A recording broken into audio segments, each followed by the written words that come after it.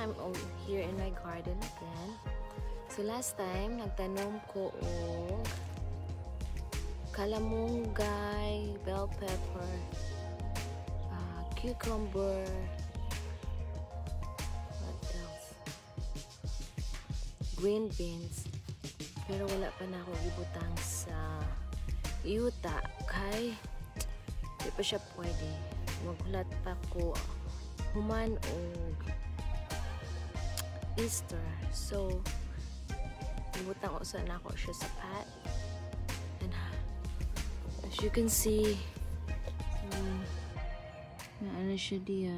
So, kalamunggay. Ini siya is eggplant. Talong, eggplant, bell pepper, and this one green beans. That's green beans. Then, nagtanong po ko og spinach.